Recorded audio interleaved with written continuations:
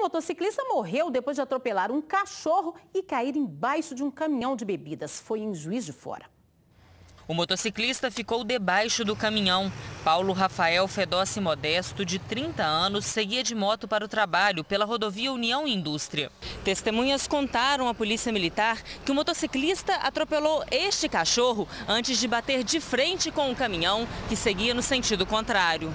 Segundo o relato do motorista do caminhão, é, o, motorista, o motoqueiro estava conduzindo o veículo dele sentido Matias Barbosa, juiz de fora, atropelou o cachorro, perdeu o equilíbrio, colidiu com o caminhão e, consequentemente, foi ser jogado para debaixo do caminhão. O acidente foi na altura do bairro Graminha. Bruno faz entregas na região e tinha visto o cachorro na pista. Na hora que eu estava saindo da entrega que eu, que eu fiz aqui, eu vi ele passando logo aqui na curva e, e eu pensei né, comigo mesmo, falei assim, esse cachorro ele vai acabar é, provocando um acidente ou sendo atropelado. Aí acabou que aconteceu essa fatalidade.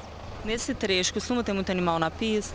Bastante. Todo dia pode passar aqui que você vai ver um animal morto aí na estrada. Aí. O motociclista era morador de Matias Barbosa e trabalhava em uma loja de equipamentos hidráulicos em Juiz de Fora. O caminhão é de uma distribuidora de bebidas. O motorista não quis gravar entrevista.